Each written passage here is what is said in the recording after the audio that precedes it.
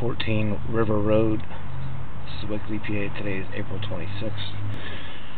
In a store inspection from a cleanout access on the right side of the house. We went back in towards the house. And now we're at the trap. Pull back.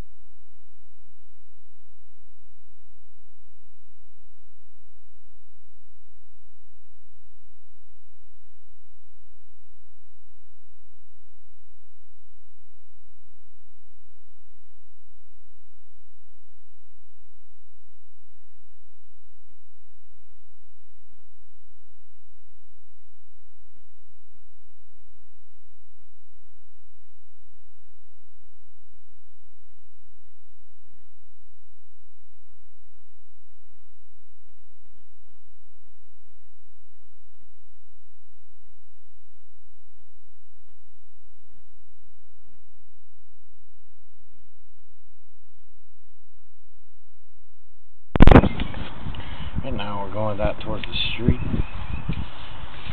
There's a lot of waste debris built up in here.